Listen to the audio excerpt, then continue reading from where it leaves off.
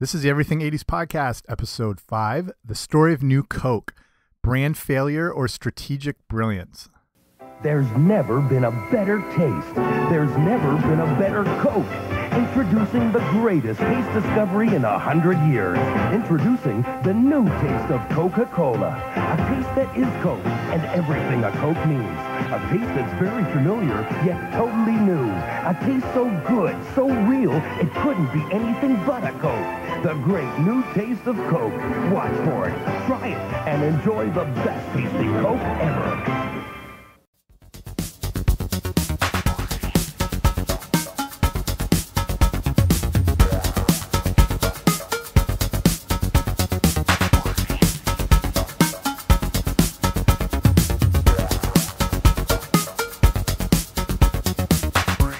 Hey guys, what's happening? Welcome back to the Everything 80s Podcast, brought to you by everything80spodcast.com. I'm Jamie.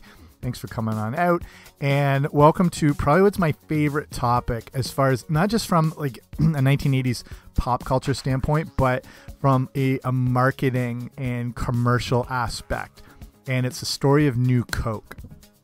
So every time you pick up a can of Coke today, I don't know if you realize what you're holding actually had to be reintroduced and spent a little while as what was called New Coke. So if you're like, I don't know, I guess under 30 or 25, unless you've read up about this in marketing classes, you you probably don't like understand like the whole process um, that happened to get us to where Coca-Cola is today. So just as a quick summary, New Coke came out in 1985 and it was a response to really dwindling Coca-Cola sales. So it was used to replace the classic formula, but was met with so much consumer backlash that within three months, the original formula was returned and then rebranded as Coca Cola Classic. So this caused a spike in sales and it made a lot of people wonder if this was the plan all along. So we're going to look deeper into this. But just before, in case you haven't, make sure you subscribe wherever you find your podcasts. I should be there. Okay, time for New Coke. So let's set the stage for what happened with New Coke. And that means just like a quick little history on the development of what can be considered one of the most famous beverages ever created by mankind. And, you know, you've had Coke at various points. You might have had different versions from like Diet Coke, Coke Zero, Cherry Coke, Vanilla Coke, Coke Life. Um, they're even introducing I think it's to come out earlier in the year, this year, 2019. It's going to be called Coca Cola Orange Vanilla. and it's them trying to get on like more into the flavored beverages when that's been a bigger thing. And, but like over the years, they've done some crazy stuff like, um, not bad was like Coca Cola with lemon, you know, Coca Cola with lime. I don't know if you've ever had Coca Cola Black, spelled with a K, B L A K. It was a coffee flavored version. I actually tried this at a food show and it was awesome like really good, and it just didn't it didn't get a mainstream release. There's Coca-Cola Citra. They did their own version of an orange before they did Coca-Cola Ginger, Coca-Cola Light, spelt with a T.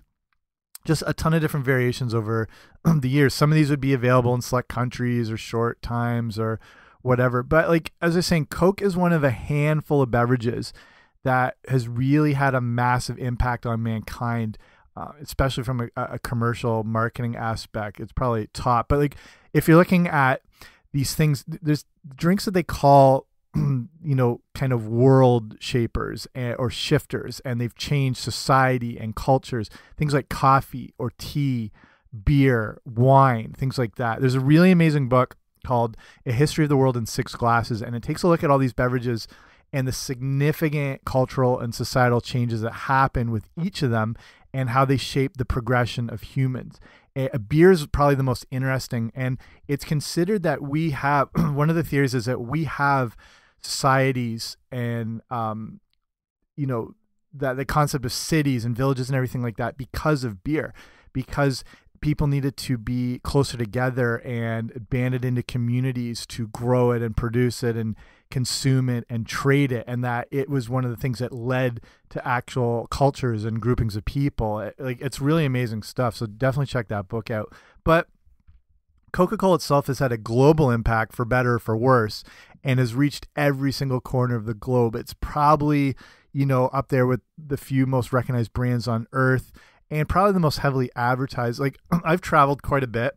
I've been in some of the most remote parts of the world like that have had no running water, electricity, any sort of infrastructure, but you'll see Coke signs everywhere, and you can still buy it everywhere. It's it's it's crazy.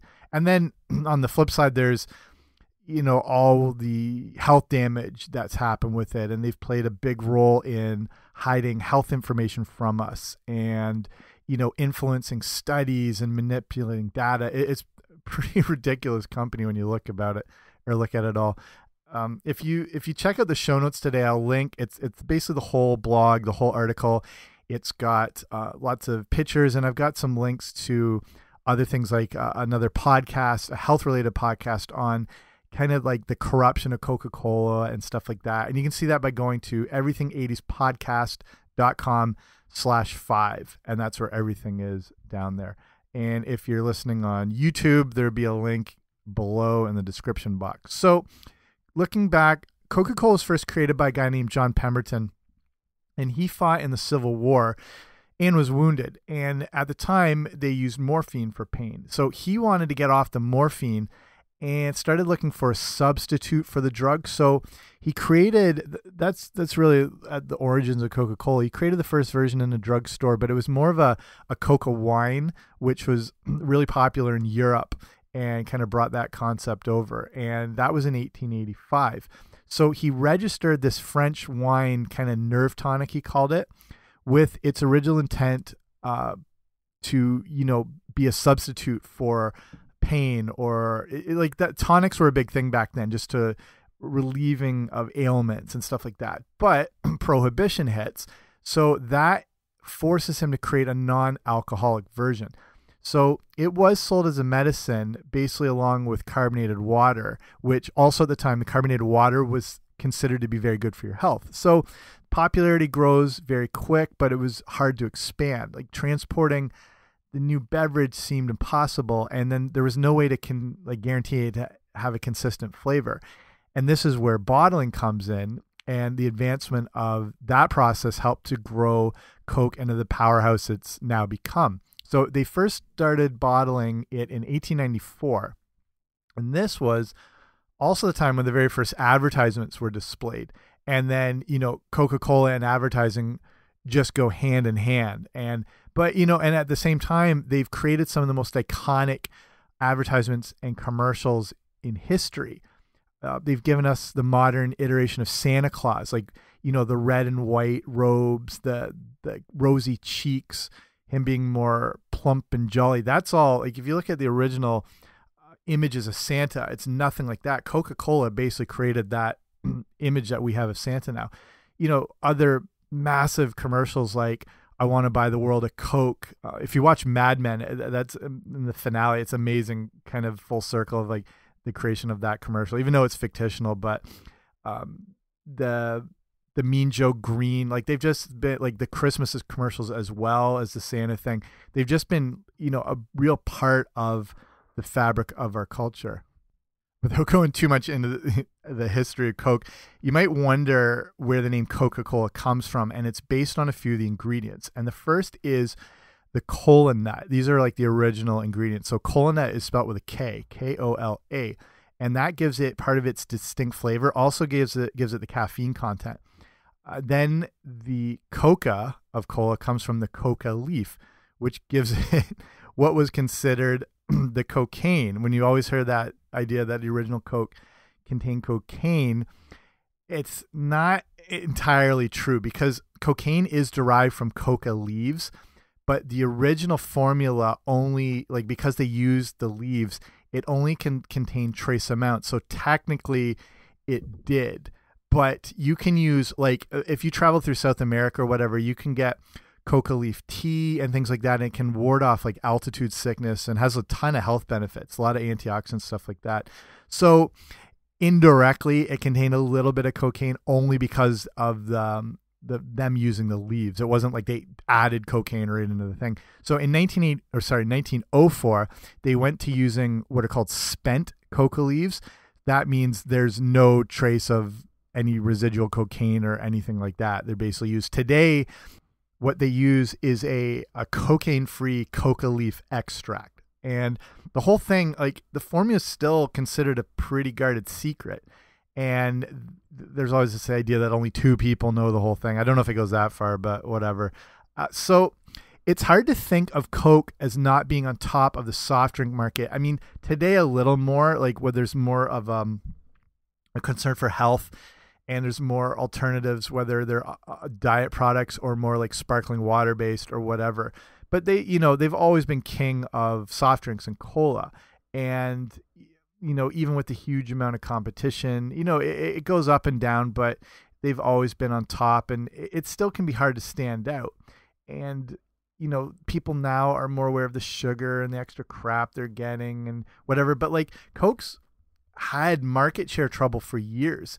We, uh, they haven't been the the king of the mountain, the top of the mountain. This goes actually far back as the Second World War, where they only had 60% of the market share, which is really good, but everyone's always under the assumption that they dominated the entire market. So now we're getting into the 80s, and by 1983, it had dropped to 24%, which is ridiculous. And this is where the whole story of New Coke starts. So, Pepsi, I mean, if you grew up during this time, you are probably very aware of the Pepsi Coke wars, which have always happened, but they, this is when they were really ramped up because Pepsi was getting really aggressive in its advertising and taking a huge chunk out of the market. And they were actually outselling Coke in supermarkets, just straight up.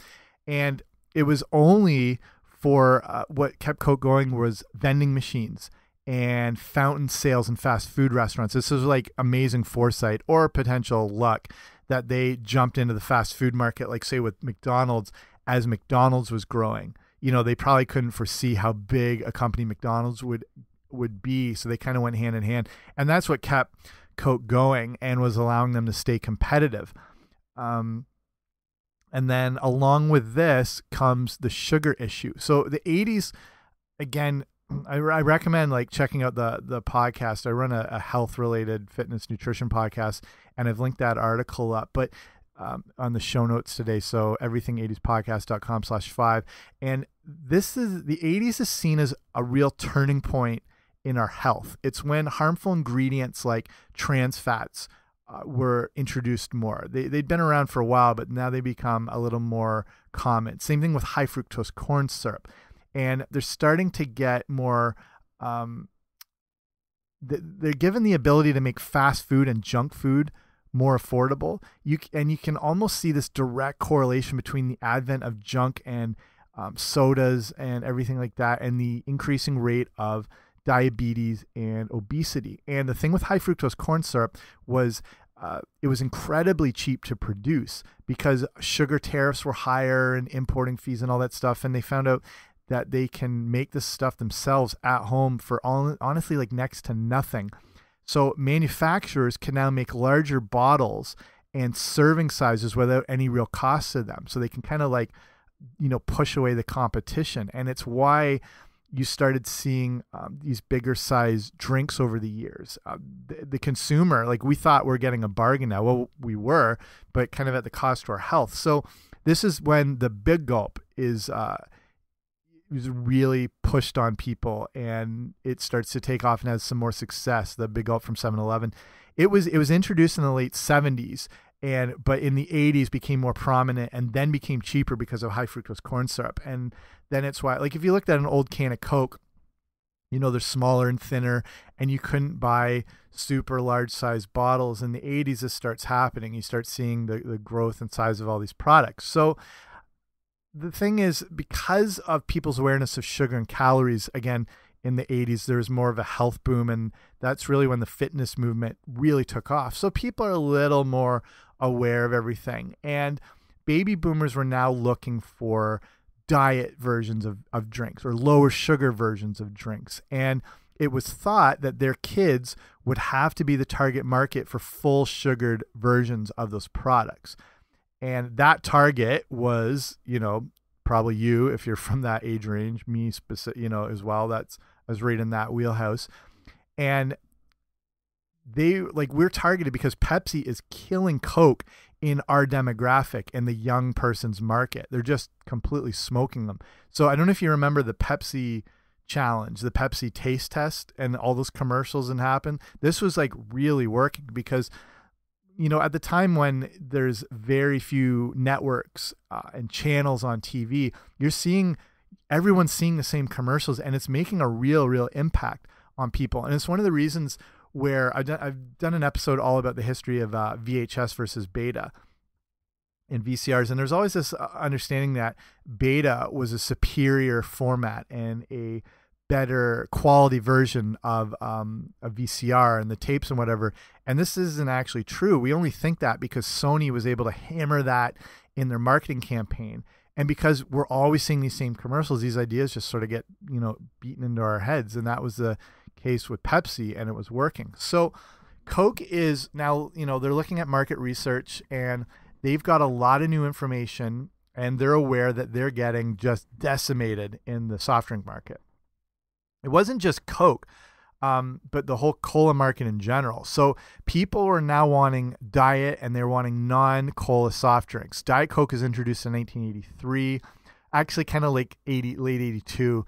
Um, but then, you know, amped up and marketed and promoted. And so this was great. This helped, but they really needed to get better control of the full cola market. So they started coming up with some work on a new formula in the early 80s. It was called Project Kansas, not related to the epic band of the same name, but this was kind of like the hidden name as they were working on it. So the focus was creating a sweeter version of Coke, and it did seem to be working. It, it's funny to think of something sweeter, but that was the whole idea. In they were doing taste tests, um, with original Coke and Pepsi, and the newer version of Coke seemed to be working with most testers, saying they would buy this if it was a Coca Cola product. There was a small percentage saying they hated it and were angry at the change. And they even went on to say this might make them stop drinking Coke altogether. And they maybe should have paid attention to that, which we'll get to in a little bit. So, a guy named Robert, I never know how to say his name, Robert Goizuda, Goizeta, could be completely butchered, but he was in charge of all this and he was encouraged by all the surveys that they were running and taking and um, everything. So it's now 1985. And this also happens to be not just the year Back to the Future comes out. This is the 100th anniversary of the original Coke. Remember, came out in 1885. This seemed like the perfect time to launch this new Coke. It, it was perfect. It, everything seemed set up to do it. There was one very crucial piece of data, though, that they chose to overlook, but was quite revealing in what was to come. The respondents said they liked the idea of New Coke being a separate product and not a replacement. And this is how things would unravel. But first, they have to launch this thing. So, New Coke was launched on April 23rd, 1985. You heard that commercial at the start of the show. That was just one of them. They actually stopped making the original formula altogether just later in that same week. So this is April 23rd. I think like two or three days later, they just stopped making the original Coke.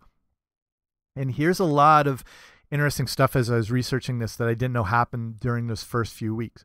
So area manufacturers were using original packaging for new Coke before the new packages were available. The old cans that contained new Coke had gold tops on them. These cans are now actually reused for caffeine free Diet Coke. If you've ever seen them, that's where those came from. The old bottles with new Coke in them had red caps on them instead of silver and white. Today, all the bottles have red caps, but that's how it was. So, as they're launching, the original press conference took place at the Lincoln Center, Lincoln Center, and Pepsi actually infiltrates the reporters and they plant people in the crowd to ask questions to throw off the Coke executives. So, which is kind of hilarious, but also showing that Pepsi was clearly nervous about New Coke taking over all the gains they had made in the market. And again, the focus was on sweeter taste. And this was just, it worked well because when you have like an initial drink of something, just a little sip, um, we crave sweetness and you immediately like it and respond to it. You know, the problem is over like the course of a whole drink, it can kind of not work. Have you ever had one of those like fruity type beers that are like a strawberry flavor or raspberry? For the first sip or two, they're like, you're like, this is the best drink I've ever had in my life. By the end of it, you're like, I cannot stand this thing. Um, yeah, and this was a big focus in the commercials. though that their drink was sweeter. And they, you know, looking back now, Bill Cosby was the cornerstone of all this advertising. And uh, he was, I mean, you know, looking today, it's it's hard to even mention the guy's name. But at the time, the Cosby Show dominated the 80s. It was the number one show for like almost half of the decade. Like it it crushed everything. And so they used him to promote it. And the big the promotion was that Coke's taste um was sweeter and that it was more more preferable than Pepsi. And then right off the bat, the initial reaction at first is pretty good. Like I said, it's it's new, it's sweeter, people like it. The marketing worked, and they said that 80% of people that were polled were aware of New Coke. So they did their job. They got it out there, and everyone knew. So the other big thing, again, because of the connection with McDonald's, that was that really helped the initial sales of New Coke and it showed them to be up 8%, which is massive. And that like that's within a few weeks. Like that's how well it was working. So so far so good. Market research seems to be right on, spot on. survey said that the majority of people like the new taste. Three quarters of them said they would buy it again. But as we've seen, polling research doesn't always turn out how the numbers say it will. Um, there was another big question how would this new Coke go over in the South and the Southeast where Coke originated from? Coke originally comes from Atlanta.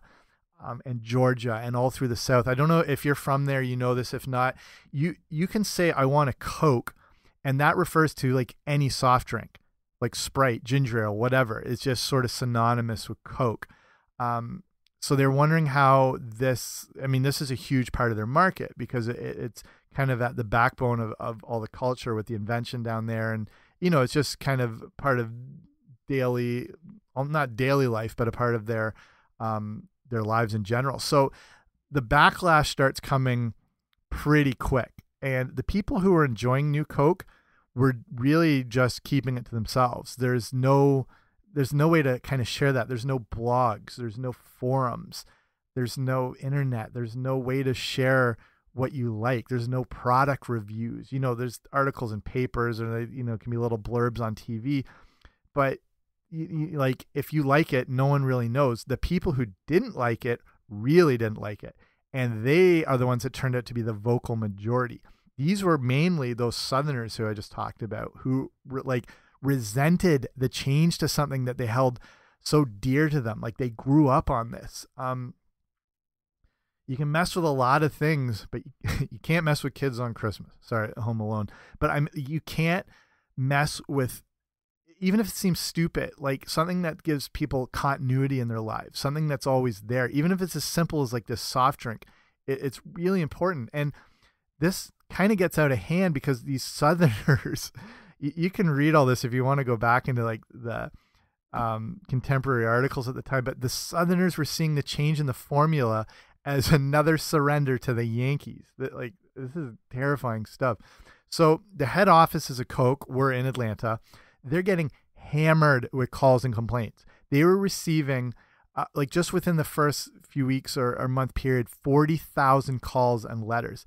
And the company hotline they had to set up just for this was getting 1500 calls a day from irate customers. So it got to the point that Coke hired a psychiatrist to try to analyze the emotions and sentiments in the call. They're like, what the hell is happening here? Why are these people freaking out? They, the psychiatrist concluded people were responding the same way they would when discussing the death of a family member. And this just seems absolutely nuts, but that's the like what they were hearing and the, the sentiment in people's voices and the, like the the words they were using to describe all this. It was the same thing. It's just when you have something, I mean, nothing makes people panic more than when you have kind of a regularity in their lives and then you take it away. And then that's just what was happening. So, I mean, th this is crazy, crazy stuff. So, the problem now is, like I said, you know, no internet, no blogs, tougher to get this stuff out. But now it's starting to get into the mainstream. um, newspapers are picking it up. The notable ones, the Chicago Tribune, that did just a, like torch Coca Cola in articles, and then the late night shows get a hold of it, and this can be like the kiss of death. So like Johnny Carson and David Letterman started mocking everything to do with New Coke on a nightly basis. Uh, if you're again like if you're under 30, it can be hard to imagine that there was a time like we had basically only three networks. There was nothing else to watch on TV, especially late at night if you were like of age to be able to like watch these shows. Like when the Tonight Show came on with Johnny Carson um, or Letterman, you can like unless you're watching the news or late sports, like there's a good chance that a third of the viewing country is watching that show, especially Johnny Carson. Anything that like happened on there could change um, perceptions of anything overnight. It's just like it's hard to explain really how powerful the the medium was at this time and especially people like that. So say like especially Johnny Carson and the Tonight Show being um, the most popular since like so many people are watching this like the show that any like say a comedian who has a good set or a, a band that no one's heard of they have a, a, great performance the next day instantly famous the whole country knows them. Their careers launch. Like a, a good example is um, Jerry Seinfeld. Like goes on, kills it on his very first performance. He gets the uh, sort of thumbs up AOK sign from Johnny, which doesn't happen a lot. And instantly famous, gets a whole show. Like, you know, careers are launched. You have a bad set, you're screwed. No one ever hears from you again. A few examples of this actually, with how powerful like late night television was. In 1966, when Johnny Carson um, was he'd been hosting for a little bit. He plays an unknown game called Twister uh, with Ava Gabor.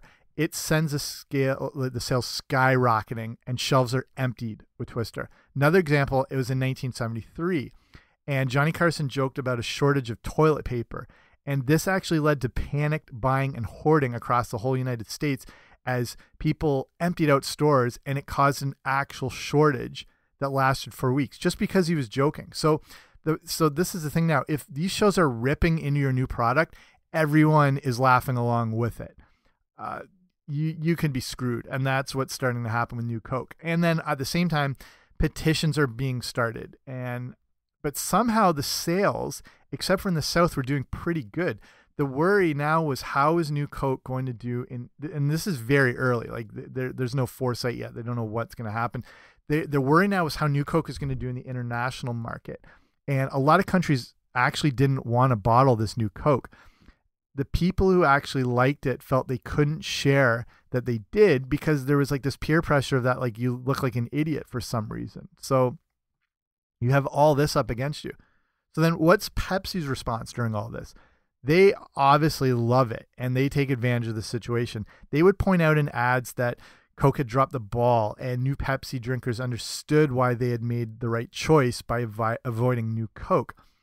And then the funny thing, though, is that Pepsi actually didn't pick up that much of the new market.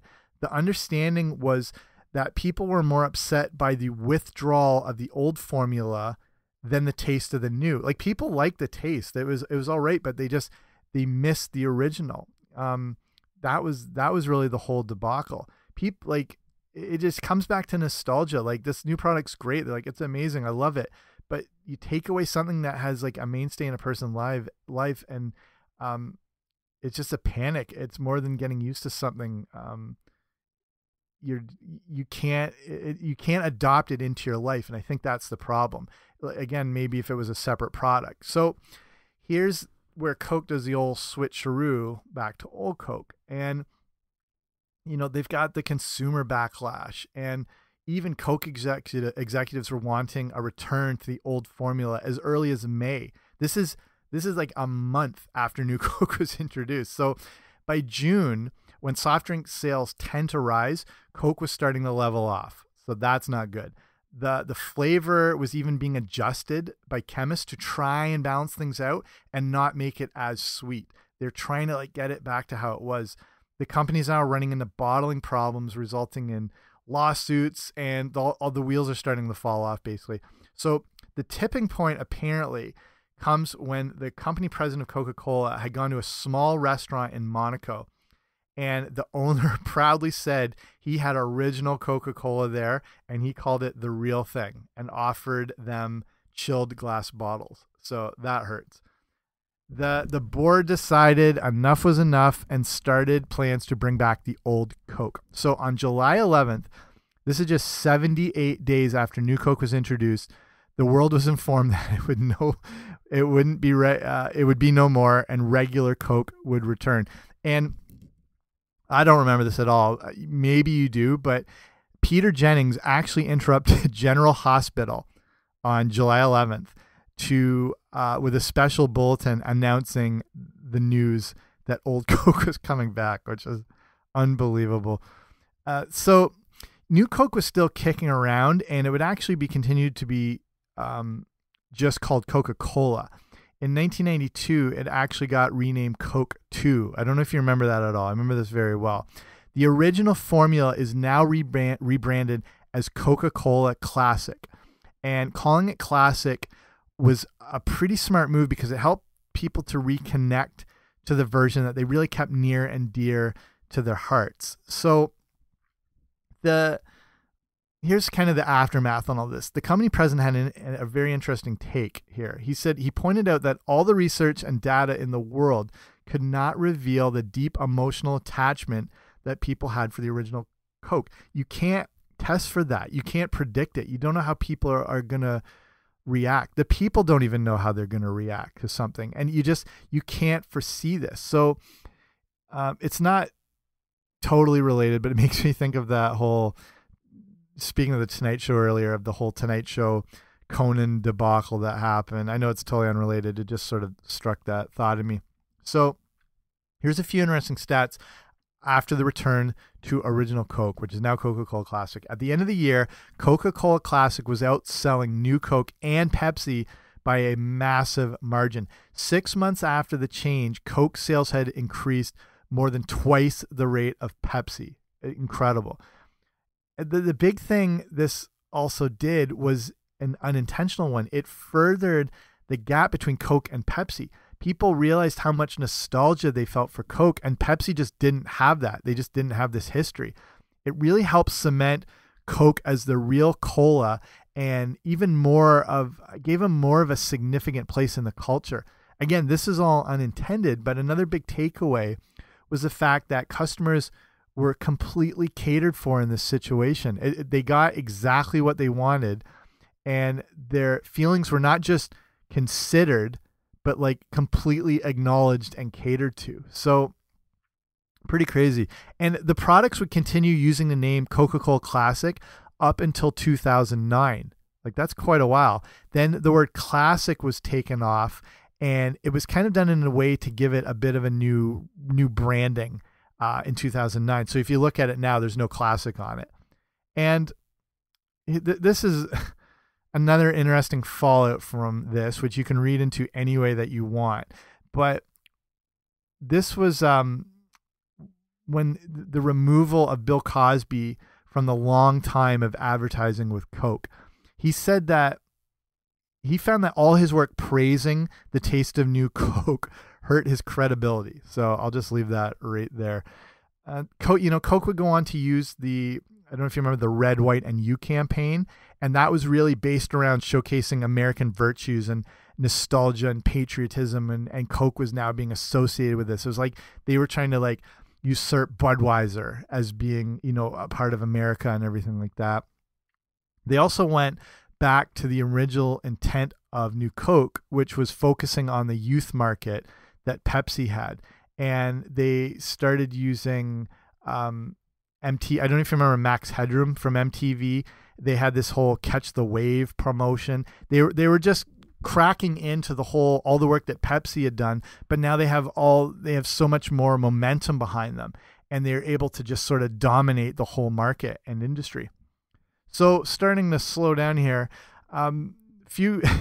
everyone loves a good conspiracy theory. So here's a few of them that surround the whole thing with New Coke kind of some of them are hard to ignore here, but here's here's a couple. So Coke, one of the theories, Coke intentionally changed the flavor, hoping people were going to be upset by it. And in that, they would demand a return to the original formula, and that would make sales spike. And that's exactly what happened, whether this was intended or not. The other uh, another theory that the switch was planned all along to cover the sweetness change from regular sugar to the new super cheap high fructose corn syrup, which is yeah is very much sweeter, um, hundreds of times more actually than like regular sugar. And this was a way to help people transition in. So they created new Coke to do this and get it back. Um, to the original version, which now which would be sweeter but wouldn't seem as sweet as new Coke. That's an interesting one. Uh, another idea, a theory that they needed to get any rid of the any connection to the coca and the cocaine. And the DEA was basically trying to get rid of the plant like worldwide. And new Coke would contain no coca whatsoever, no extract, no synthetic version, whatever, just completely avoid of it. So this in turn, the idea that creating new Coke would please the DEA and essentially Coke would never have to deal with them again that's a, that's an interesting one that I learned researching this. So I don't know if you think that's true or not. Uh, one last conspiracy theory here is Coke wanted to ultimately reveal Pepsi as not being as significant to the culture as Coke was. So even if people were not buying Coke, there was a goal to just have them not buy Pepsi. You know, putting out new Coke was a way for them to be so pissed off that they not only were not buying Coke, but just no colas altogether. And that at least would help cut into the market share, and whatever Coke was selling would now essentially their profits would go up. And that happened too. So I don't know if these ideas were. if they they're based out anything or if they're just made up after the fact when you can kind of connect the dots but interesting though so I'll finish it up here again like this is one of my favorite topics just to to read and research and there's a lot of good information out there and to me it's it's just a story about nostalgia and public demand um, marketing oversights and and lessons also to big time companies the big takeaway regarding that is to be very careful when messing with an established product so it's it's a weird way to look at it because despite its failings its massive failings at the end of the day technically New Coke was a success because it helped the company. It increased profits and made them more relevant than ever. And that's a win. Uh, it's probably the best case of a, a happy accident that had really ever happened in the history of marketing. You know, if you put the Chia Pet as being the first one. So I'll wrap it up there. I mean, it, again, like if you want to like read the whole article here and look at some of the imaging and some of the commercials and stuff, go to everything80spodcast.com slash five. Everything's right there. But thank you for listening. I hope you liked it. Uh, if you really like the show, you know, make sure you subscribe so you can get more like it. Check out the other ones. If you really, really like it, give a rating and review. That makes uh, sure that more people can see it. And again, I'm available wherever you can um, find your podcast. If you're listening on YouTube, the link should be down below to the article, or if you want to subscribe, all that great stuff. Again, thank you for listening. I'll see you later.